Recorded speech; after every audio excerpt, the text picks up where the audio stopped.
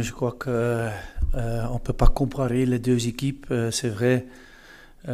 aussi les budgets sont différemment naturellement. Et pour nous, c'est vraiment quelque chose de neuf.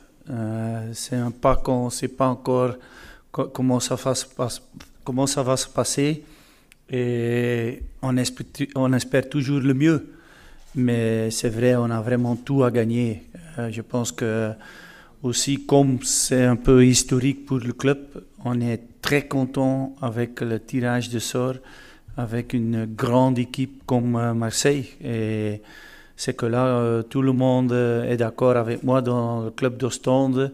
C'est un honneur de venir ici pour notre premier match. Et c'est pour ça que je ne dis pas que c'est déjà réussi maintenant parce qu'on veut encore prouver quelque chose euh, sur le terrain. Mais quand tu dis euh, ici dans 50 ans, euh, les supporters, les dirigeants, ils vont toujours tenir dans la tête, oh, vous le savez encore, le premier match d'Europe de Ostende. Et j'espère qu'il y en a encore beaucoup qui suivent. Hein, mais ça a été contre le Grand Marseille.